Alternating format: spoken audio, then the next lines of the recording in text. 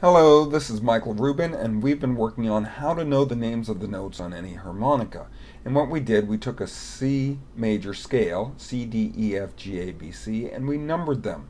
1 would be C, D would be 2, E 3, etc. Then we put spaces between them, and we filled in those spaces with the notes in, be in between those notes on the keyboard. So for example, in between C and D on the keyboard is C sharp, or D flat. It's the same note, two names. In between D and E are D sharp or E flat. And we numbered them. So D flat we called the flat 2 because it is one keyboard note lower than the, than the 2 note, and flat means one keyboard note lower than. Now we could have called it a sharp 1, but most of the time musicians talk in terms of flats and not sharp. And so E flat became the flat 3, and so on. Now we notice that there is never a flat 1, flat 4, or flat 8, and that is very important. So, now we got to figure out what does this mean for another harmonica. Well, let's look at a B flat harmonica because we've been working on the song Baby Scratch My Back by Slim Harpo, which is on a B flat harmonica. Underneath C is the number 1. We're going to put a B flat underneath that. And now underneath underneath each following number, we're going to uh, continue to put all the notes on the keyboard starting on B flat. So under 1 it should say B flat, under flat 2 it should say B, then um, C, then D flat, D, E flat, E, F, G flat, G, A flat, A, B flat. And so what you would do if you look at the number 5, you will notice that underneath it it should be an F.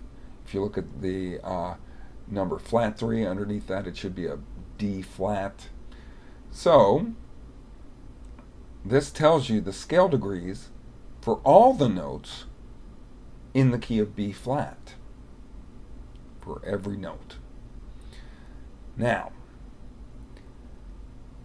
what this also means, I hope you're starting to guess, is that everywhere there is a C on a C harmonica, there is a B flat on a B flat harmonica.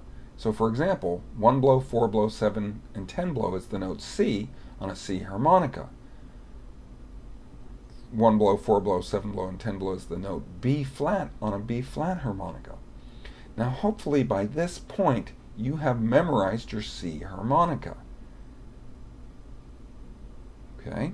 And you can start using this system to help you quickly find out the names of the notes on any harmonica. Now the first line in the Slim Harpo song goes four bend, four draw, four bend, four blow, three single, one draw, two draw. Now the Slim Harpo song is a cross harp song.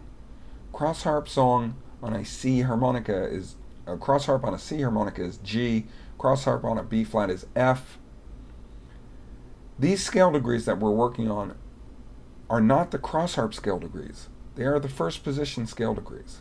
However, it doesn't matter when it comes to knowing the names of the notes on the harmonica. This method will still work even though we're working in first position. So, let's look at the at the notes. Four bend is D flat, four draw is D, four bend is D flat, four blow is C, three single bend is B flat, one draw is D, and two draw is G. Using this number system, in the key of C, four bend is the D flat is the flat 2, D is the 2, D flat is the flat 2, C is the 1, 3 single is the flat 7, D is the 2 and G is the 5. Looking at those numbers and looking below to the B flat chromatic scale, the flat 2 is B,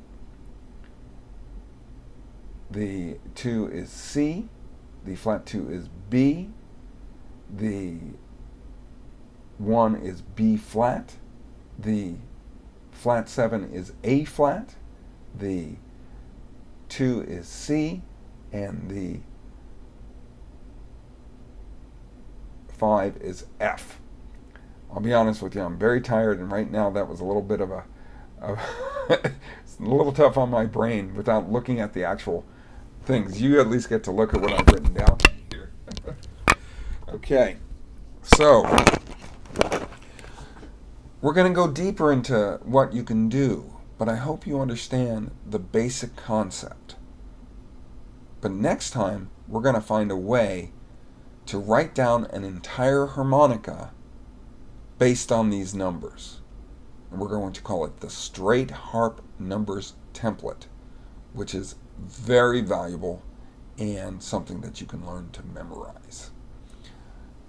Okay, thank you very much. See you soon. Oh, you know, it's 5.50. It's only been a, a few minutes. I do want to say, you don't need to have the C scale written out to do this. Let's say you had an A harp. You could just write A to A in keyboard notes. A, A sharp, B, C, C sharp, D, D sharp, E, F, F sharp, G, G sharp, A. And then you could fill in the numbers. Remember, there's never a flat 1, flat 4, or flat 8. So A would be the 1. Is there a flat 2? Yes, because there's never a flat 1, 4, or 8. So there must be a flat 2. So A sharp is flat 2. B is 2. C. Is there a flat 3? Well, there's never a flat 1, 4, or 8. So yes, there is a flat 3. So C is flat 3. C sharp is 3. Is there a flat 4? No, there's never a flat 4. So D is 4. Is there a flat 5? Yes, because there's never a flat 1, 4, or 8. So E flat or D sharp is flat 5. E is 5. Is there a flat 6? Well, there's never a flat 1, flat 4, or flat 8. So yes, there's a flat 6. F is flat 6. F sharp is 6. Is there a flat 7? Well, there's never a flat 1, flat 4, or flat 8. So yes, there's a flat 7. G is flat 7. G sharp is 7. Is there a flat 8? Never. Therefore, A is 8. And then, so you didn't even have to write out the C scale first. You can figure out any, any key by using this method. As long as you know the names of the notes on the keyboard, and you know there's never a flat 1, 4, or 8. Okay, see you later.